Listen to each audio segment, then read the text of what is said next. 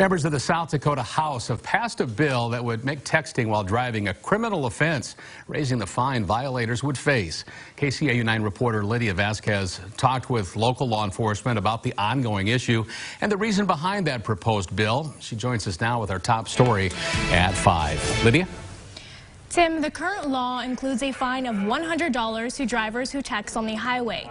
Now, under legislation and consideration in Pierre, that fine jumps up $500, not just for highway drivers, but for everyone.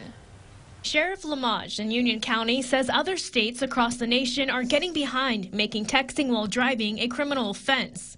He says it won't completely stop drivers, but it's meant to make people more aware of the consequences.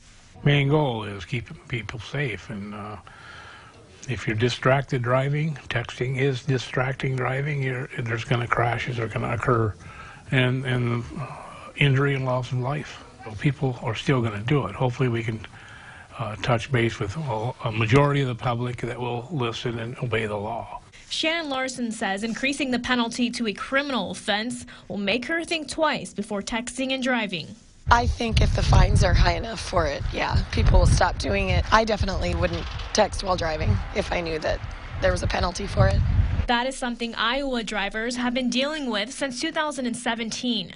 Although only a misdemeanor in Iowa, drivers are prohibited from using a handheld electronic device to write, send, or view an electronic message while driving.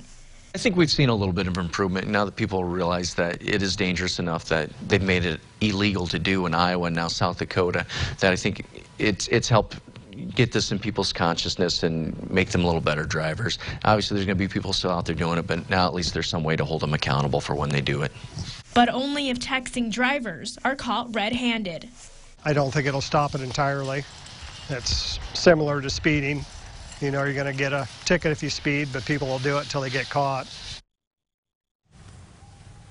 If the Senate if the South Dakota Senate Transportation Committee approves the bill, then it will need full Senate support before heading to Senator to the Governor Noem. Lydia Vasquez, KCAU 9 News.